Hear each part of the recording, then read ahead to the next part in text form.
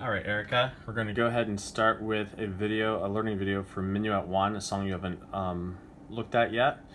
So I'm going to play this for you once, and then we're going to go through it, okay? So, here we go.